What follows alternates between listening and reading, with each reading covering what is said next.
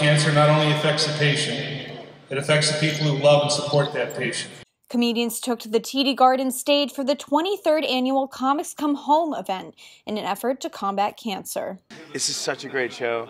I, I dare you not to laugh. The benefit show was created in 1995 by actor Denis Leary and former Bruins player Cam Neely, who established the Neely Foundation for Cancer Research after his parents died from the disease. I love that you guys have the aquarium right between the harbor and illegal seafood.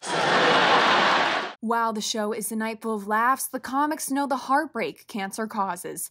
Fallon and Clarke utilize the Neely Foundation's Neely House, where cancer patients can stay during treatment. When my wife went through breast cancer again for the second time, we stayed at the Neely House. Jimmy's dad was there, my wife was there. Over 700 families have been helped by this. Cam Neely uh, saved my dad's life. My dad had prostate cancer, and uh, they helped him out, and um, I'll never forget it.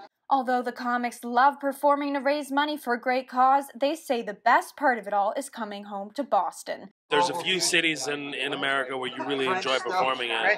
Boston is one of those cities. I've done Carnegie Hall with Denis. I've done the Lincoln Center. The Garden?